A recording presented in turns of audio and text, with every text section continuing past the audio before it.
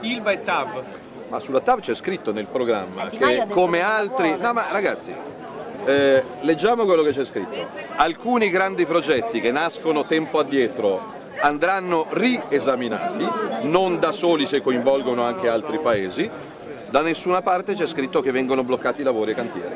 Quindi alcuni grandi progetti sono fondamentali e andranno avanti, alcuni possono essere ridiscussi.